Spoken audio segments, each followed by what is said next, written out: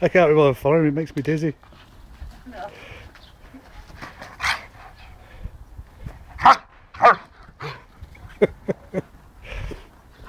Where's the other ball?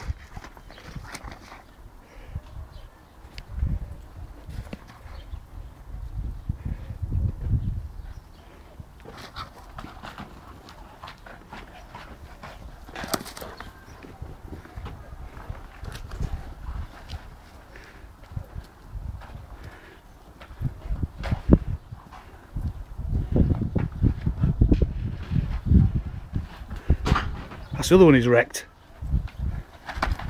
Just one's down the bottom. Gonna get it off ya.